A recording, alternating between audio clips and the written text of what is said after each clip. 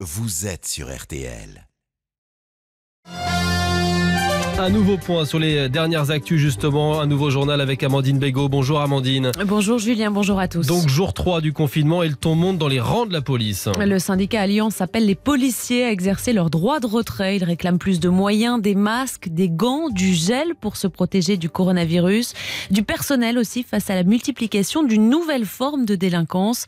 Christophe Rouget, le secrétaire général adjoint du syndicat des cadres de la sécurité intérieure. On a des gens qui se précipitent pour aller sur des entrepôts. On a des gens qui volent, par exemple, les, voitures euh, des personnels de santé pour, euh, pour récupérer leurs masques. On a vu une pharmacienne vendre sous le manteau, par exemple, des masques. On a des gens euh, qui font du trafic. On a des escrocs sur Internet qui proposent des fausses attestations. Il nous faut être sur tous les fronts. Et pour être sur tous les fronts, il faut nous donner les moyens de gagner cette guerre parce qu'il faut avoir du personnel pour gagner une guerre. Il faut avoir du matériel. Témoignage édifiant de Christophe Roger, c'était sur RTL hier soir des policiers et des gendarmes également qui sont aussi chargés de veiller au bon respect des règles de confinement. Ils sont 100 000 à patrouiller un peu partout en France. C'est fini la pédagogie. Toute violation entraîne désormais une amende, 135 euros à chaque fois. Plus de 4 000 ont été dressés en 24 heures. C'est ce qu'indique le ministre de l'Intérieur qui appelle chacun au civisme.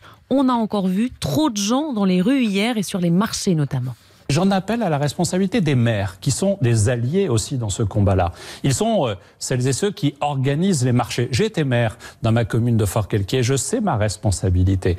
Et donc je les invite d'abord à supprimer sur les marchés la totalité des marchands forains non sédentaires qui vendent autre chose que de l'alimentaire. Ça créera de l'espace. Et ensuite, j'invite aussi euh, les polices municipales à donner ces conseils, ces bons gestes qui protègent, à assumer cette distance d'un mètre, d'un mètre cinquante. Vous savez, c'est la meilleure façon de se protéger. Ces gestes barrières, il faut les rappeler sans cesse. Et on peut aller sur un marché dans un arrondissement parisien tout en respectant ces gestes barrières. C'est un enjeu vital. Le ministre de l'Intérieur Christophe Castaner sur TF1. Hier On soir. entend l'inquiétude du gouvernement face à une situation qui s'aggrave rapidement. Oui, ce sont les mots du directeur général de la santé qui redoute une saturation des services d'urgence.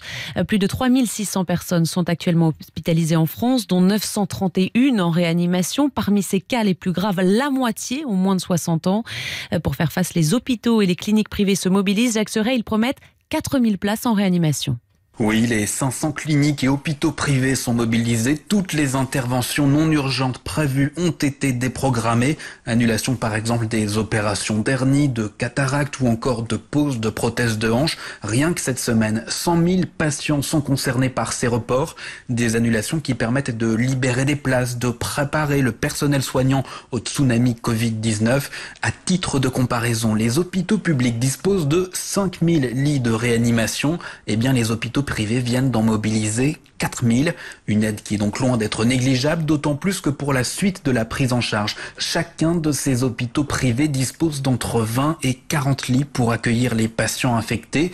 L'afflux a déjà commencé dans les établissements du Grand Est et de l'Île-de-France, mais comme dans les établissements publics, un sujet d'inquiétude demeure, le manque de masques, de gel et de réactifs pour effectuer les tests sur le personnel soignant. Les précisions de Jacques Serret pour euh, RTL à propos de masques, justement. L'armée va livrer quelques 5 millions de masques. C'est ce qu'a annoncé cette nuit la ministre Florence Parly. Tous seront mis à la disposition du ministère de la Santé. L'Assemblée nationale, elle, rouvre ses portes aujourd'hui. Les députés doivent voter les mesures d'urgence annoncées par le gouvernement. Et Marie-Bénédicte Allaire, ça va se passer en tout petit comité. Oui, l'hémicycle sera clairsemé, mais pour une fois, ce sera voulu. Seuls trois parlementaires par groupe pour représenter l'ensemble de leurs collègues. La vie démocratique devait se poursuivre. Toute la classe politique le souhaitait. Gilles Legendre de La République En Marche. Que ça se passe dans des conditions très contraintes en termes de délai et d'effectifs n'a pas comme vocation d'éteindre les différences d'appréciation, les nuances. Et de demander à l'opposition d'être dans la mesure et d'éviter des querelles subalternes. Message entendu, semble-t-il, chacun jouera son rôle de manière responsable, répond l'insoumis Jean-Luc Mélenchon. Nous, on n'est pas dans l'union sacrée, on est dans l'intérêt général, le sens des responsabilités et la décision d'avoir des comportements qui soient adaptés à la situation Personne n'a rien à gagner à encourager la panique et la pagaille. Deux projets de loi doivent être adoptés en deux jours pour faire face aux conséquences du coronavirus. Les autres réformes sont reportées. Seules les questions au gouvernement continueront de se tenir en format restreint. C'est la mission de contrôle du Parlement. Quant à la buvette des députés, foyer d'infection, elle est fermée.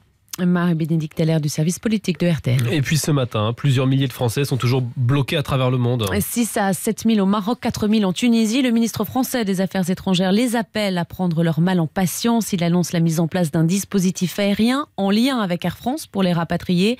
Romain, espérant pouvoir en, en profiter, il est actuellement bloqué avec d'autres aux Philippines. Ben, on est ben, déjà très fatigué parce que euh, on dort très très peu la nuit parce qu'on est en perpétuelle recherche de solutions via les médias locaux, via les réseaux sociaux et les groupes Facebook qui ont été mis en place. Il y a déjà très très peu d'avions qui décollent de, des différents aéroports euh, tous les jours. Euh, il y en a encore euh, très très peu qui nous permettent de rentrer en France. Et parmi ces vols, euh, ces vols Fly Emirates, les prix sont vraiment ex exorbitants. On a dépensé déjà énormément d'argent dans des billets d'avion qui ont été annulés, plusieurs milliers d'euros déjà et la situation financière ben, devient de, de, plus en plus compliquée. Puis bon, le sentiment d'être abandonné, d'être oublié, quoi. La population se conduit comment avec vous? Le peuple philippin est vraiment très gentil, très accueillant. Mais c'est vrai que euh, depuis qu'il y a eu ces restrictions gouvernementales, le, le regard des locaux a changé vis-à-vis -vis des touristes. Ils ont le sentiment que c'est nous qui leur avons amené le virus chez eux. Le témoignage de Romain bloqué aux Philippines, recueilli pour RTL par Pierre Julien. Sachez par ailleurs que le Royaume-Uni a à son tour décidé de fermer ses écoles. Ce sera le cas à partir de demain.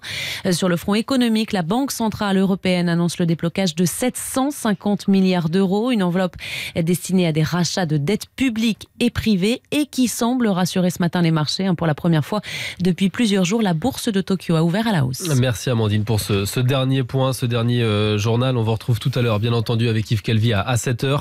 Euh, le temps, Marina, avant de reprendre.